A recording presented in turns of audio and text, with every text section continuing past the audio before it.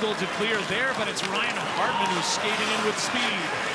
Trying to make a move around Oliver Kylington. Oh boy, Kylington went hard into the boards. He is not moving. His head hit the boards very hard, and this is a very scary situation. The uh, trainer rushing over to Kylington. And Markstrom rushes in to protect his defenseman.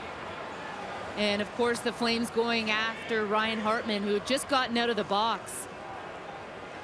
And Cassie, there we just saw Kylington's right arm move just a smidge. He kind of gets spun around, and when he lands, his head is the first thing that hits the boards. And he didn't move.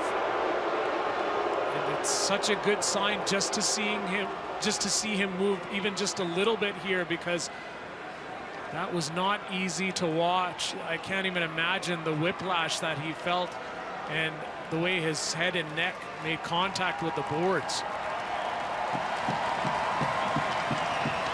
You know, in fairness to Ryan Hartman, the Flames went after him.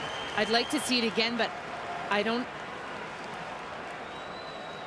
Other than maybe a bit of a can opener, I, I, I really think this is a clean play, although Hartman is standing beside the penalty box.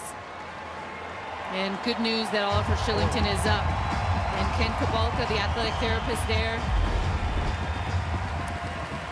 So Hartman tries to push this around Kylington, and then you can see the two of them just battling.